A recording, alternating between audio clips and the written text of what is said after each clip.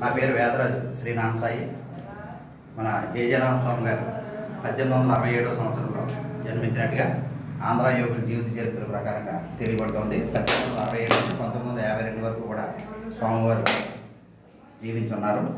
ఆ పద్దెనిమిది వందల అరవై ఏడు సంవత్సరంలో జన్మించినటువంటి ఆయన పద్దెనిమిది వందల డెబ్బై తొమ్మిదో సంవత్సరం పశ్చిమ గోదావరి జిల్లా పాలకొల్లు దిగురు వారి యొక్క మెల్లో పుర్రినమాలతోటి దిగంబరంగా అఘోరీ సాంప్రదాయంలో అక్కడ భక్తులకి దర్శనం ఇచ్చారు అక్కడ నుంచి పాలకొల్లు దగ్గర నుంచి ద్రాక్షారామ ధవళేశ్వరం రామచంద్రపురం రాజమండ్రి పరిసర ప్రాంతాల్లో సంచరించి ఈ గొల్లల మాట్లాడు భక్తులు కోరినటువంటి కోరిక మేరకు ఇక్కడ గొల్లల మాట్లాడు గ్రామంలో వచ్చేసి ఇక్కడ ఉన్నటువంటి ఎంతో ఎంతోమంది భక్తులు అక్షరతోటి కార్పణ్యంతో ఉన్నటువంటి భక్తులందరూ కూడా ఆ స్వామిని ఆ స్వామి ఇక్కడికి వచ్చిన తర్వాత వాళ్ళకు ఉండేటువంటి భక్తులకు ఉండేటువంటి ఆ కార్పణ్యాలన్నీ కూడా పోయి ఎంతో శాంతంగా ఈ గ్రామం నిలబెట్టాడుతోంది పాడి పంటలతోటి ఎంతో సుఖశాంతితో ఈ గ్రామం అప్పటి నుంచి కూడా స్వామి వచ్చే దగ్గర నుంచి కూడా ఉన్నారు.